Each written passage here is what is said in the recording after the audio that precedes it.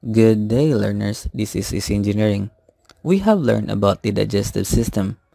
Now, let's talk about the nervous system and explore incredible things about it. If you've ever wondered how we control our whole body, and you might think, well, it's the brain that does it. In that case, you are not wrong, but it is not just the brain. It's a whole system of organs called the nervous system. The nervous system is made up of the brain, the spinal cord, and a large network of nerves that covers all parts of the body. Together, they help different parts of our body to connect to each other and allow our brain to control what is going on. The nervous system is like the highway along which your brain sends and receives information about what is happening in the body and everything around it. Everything from what you see, what you hear, and what you feel. All of that is being sent and processed up to your brain. Now, this highway is made up of billions of nerve cells, or neurons, which join together to make nerves.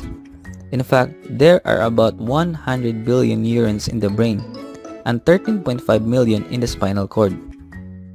Fun fact learners, did you know that one of the heaviest organ in our body is the brain? Yes. A nerve is a fiber that sends impulses through the body. These fibers are covered by fatty substance called myelin. Myelin helps the messages go fast through the neurons. Nerve cells work by a mixture of chemical and electrical action.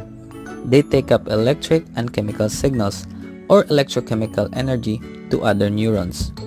The chemicals move along to the next neuron sparking an electrical charge which moves the nerve impulse forward.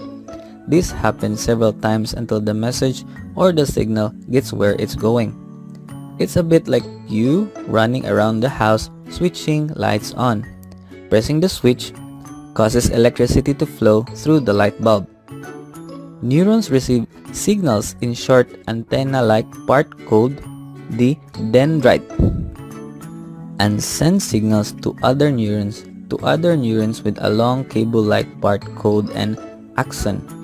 An axon can be up to a meter long. The main part of the neuron is the cell body. It contains all the important part of the cell that allow it to function properly. There are two main parts of the nervous system, the central nervous system and the peripheral nervous system. The central nervous system is made up of the brain and the spinal cord. The brain lies protected inside the skull and from there controls all the body functions by sending and receiving messages through nerves. The peripheral nervous system carries messages to and from the central nervous system. It sends information to the brain and carries out orders from the brain. Messages or signals travel through the cranial nerves. Cranial nerves are those which branch out from the brain and go to many places in the head such as the ears, eyes, and face. Messages can also travel through the spinal nerves which branch out from the spinal cord. There are two major parts of the peripheral nervous system, the somatic and the autonomic.